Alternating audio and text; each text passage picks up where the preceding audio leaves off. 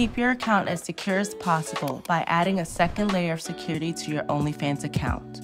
First, click More on the sidebar menu. Then, click on Settings.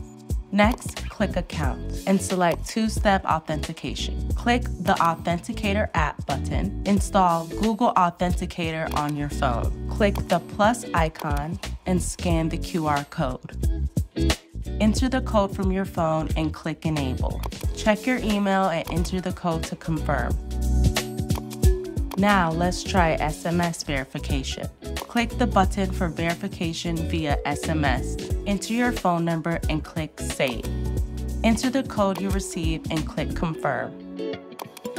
Tick the reCAPTCHA box and click Save. Then enter the code received from your phone and click Verify. And that's it.